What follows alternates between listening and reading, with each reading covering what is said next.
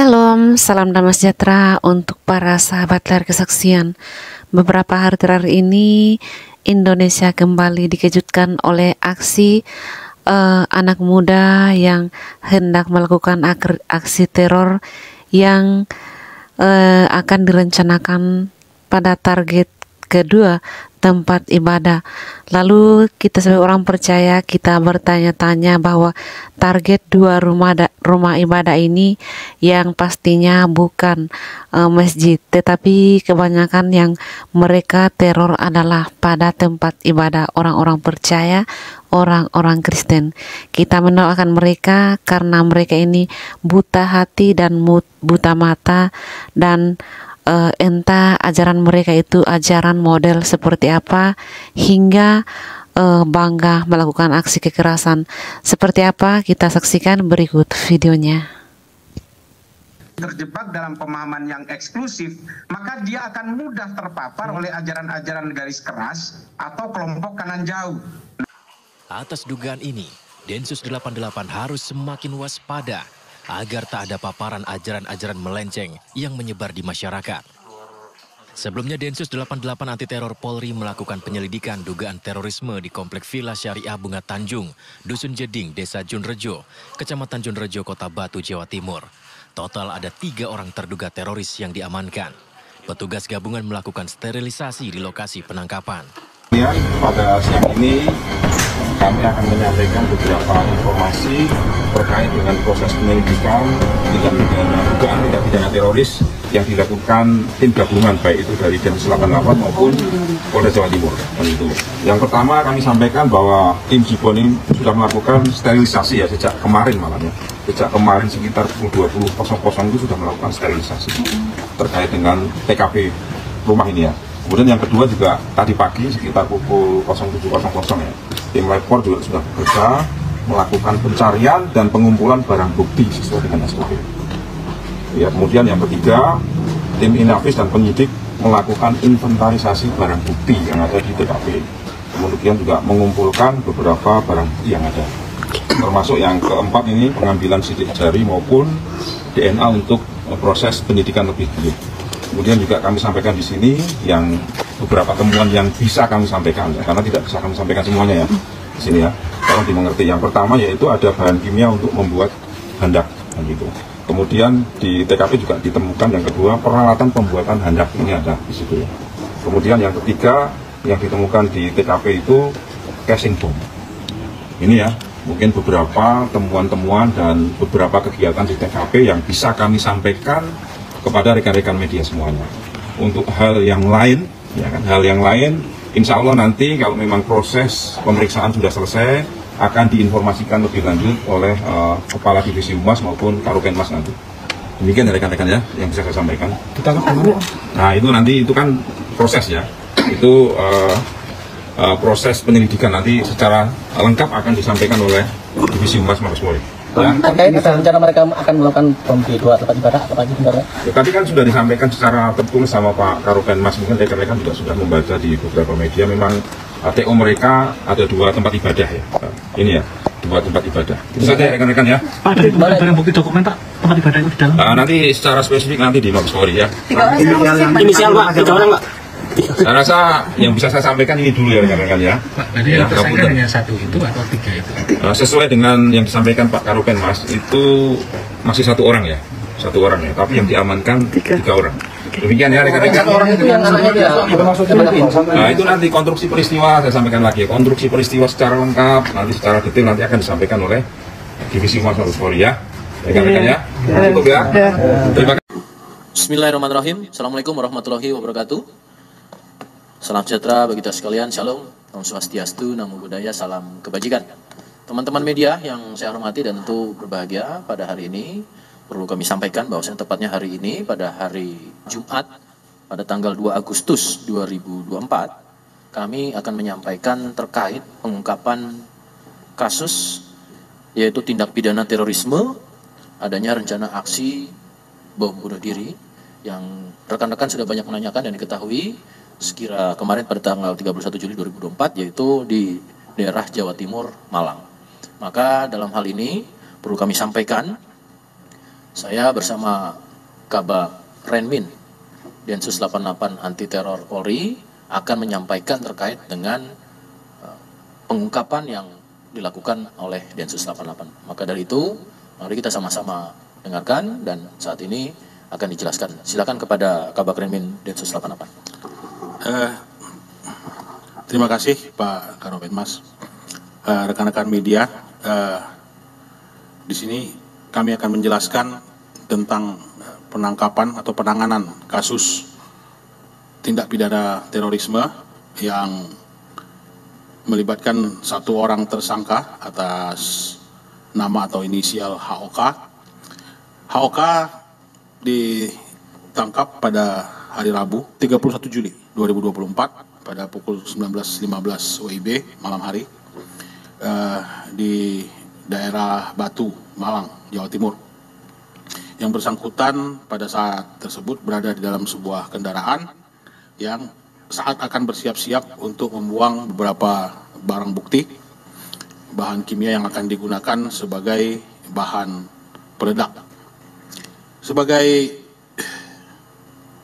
informasi bahwa penyelidikan atau pengumpulan informasi yang telah dilakukan oleh uh, Densus 88 mendapatkan bahwa HOK merupakan seorang simpatisan Daulah Islamiyah dalam hal ini ISIS yang bersangkutan sudah berbaiat.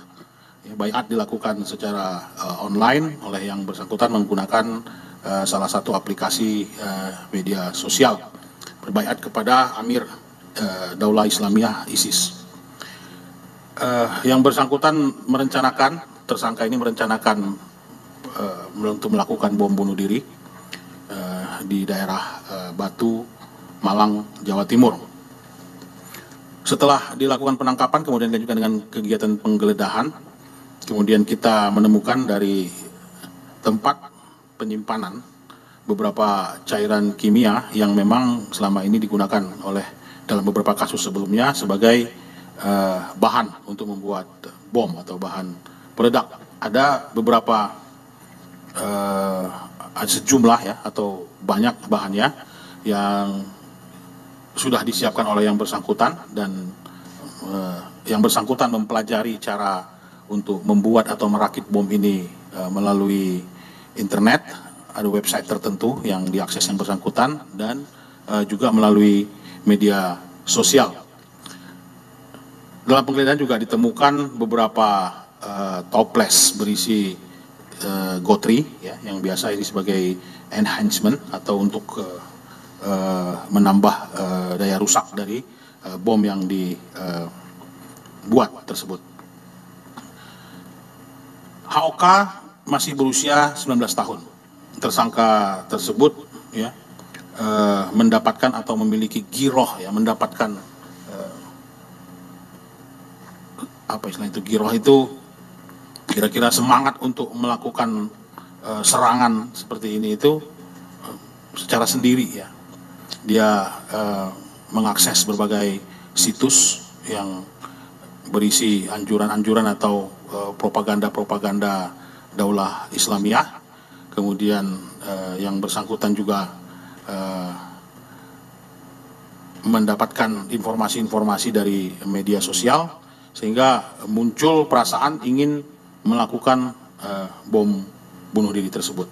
Nah, di sini uh, sampai sejauh ini kita masih mendalami dan terus mengembangkan ya, bagaimana bagaimana proses seorang remaja seperti HOK ini menjadi terpapar dan kemudian uh, sampai ke tingkatan yang paling tertinggi menjadi uh, pelaku tindak pidana terorisme. Dari kami mungkin cukup itu dulu karena saat ini juga kita sedang melakukan pendalaman dan juga memintai keterangan dari beberapa orang termasuk uh, orang tua yang bersangkutan yang Eh, kebetulan ditemui atau uh, saat saat akan dimintai keterangan yang bersang, ya orang tua dari tersangka HOK ini sedang berada dalam perjalanan uh, menuju ke Jakarta di dalam sebuah kereta. Nah ini juga untuk menegaskan bahwa tidak ada bahan peledak atau bom yang dibawa oleh orang tua tersangka. Ya, jadi orang tua tersangka tersebut saat ini masih dimintai keterangan untuk mendalami uh, profil profil dan uh, uh, kasus ini sendiri profil dari tersangka dan kasus uh, ini tersendiri. Uh, saya kira demikian Pak Karopen Mas, mungkin ada beberapa hal yang mungkin perlu ditanyakan atau uh, lain yang perlu kami jelaskan. Kami siap untuk menjelaskan. Uh, baik, terima kasih rekan-rekan. Untuk penangkapan ini telah dilakukan proses penangkapan pada tepatnya hari Rabu, tanggal 31 Juli 2024 sekira pukul 19.15 yang telah diamankan atas nama tersangka HOK terduga tindak pidana terorisme di Jalan Nangsep, Kelurahan Sisir, Kecamatan Batu Malang, Jawa Timur. Maka tentu tersangka berdasarkan hasil penyelidikan diketahui, tadi sudah sampaikan berencana untuk melakukan aksi sebagai pelaku teror bom bunuh diri. Itu rekan-rekan yang bisa kami sampaikan sekali lagi. Terima kasih. Uh, mungkin sampaikan. boleh kami tambahkan sedikit di sini sebagai uh, pesan lah, Jenderal, untuk menghimbau, mengingatkan bahwa setelah digali biaya atau dana yang uh, digunakan untuk pembelian bahan-bahan ini didapat oleh yang bersangkutan dari ditabung sendiri. Ya, uang jajan kalau menurut keterangannya yang diberikan oleh orang tua yang bersangkutan. Jadi di sini kita uh, perlu uh, betul-betul memperhatikan ternyata uh, sebegitu tingginya ya motivasi dari uh, seorang remaja seperti HOK yang menabung sendiri uangnya untuk membeli bahan-bahan produk tersebut.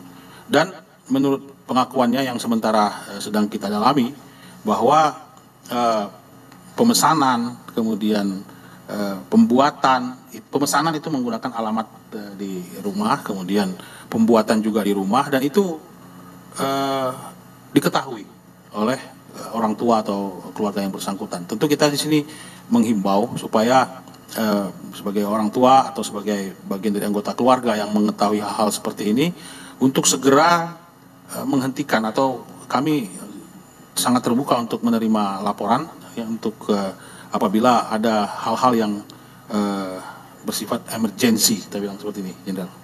Baik itu rekan-rekan yang bisa kami sampaikan. Yakin bahwasannya Polri tetap melakukan upaya-upaya uh, baik itu sifatnya dari mulai preventif, preventif sampai dengan pada proses penegakan hukum. Dan kami yakinkan bahwasannya dari Densus 88 anti teror Polri tetap melakukan langkah-langkah secara baik dari preventif sampai dengan penegakan hukum. Dan tentunya kami yakinkan dalam proses penanganan ini masih secara simultan berkesinambungan dan nanti secara perkembangan juga kami akan sampaikan lebih lanjut. Saat ini penyidik sedang bekerja dan tentunya kita tunggu bersama-sama untuk progres selanjutnya. Terima kasih. Iya, saudara yang terkasih, Orang yang melihat dengan hati nurani tentu paham dan tahu ini ajaran dari mana.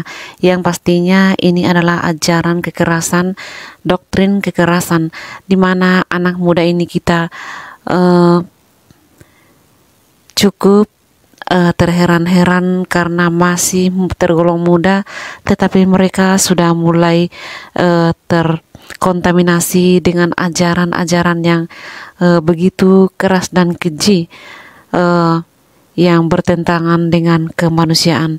Sebagai orang yang percaya, kita tetap bersandar kepada Tuhan karena bagaimanapun kita percaya sebagai orang percaya, Tuhan tidak akan pernah membela hal-hal yang salah dan selalu mengangkat ke atas permukaan hal yang baik dan benar. Demikian Tuhan Yesus memberkati.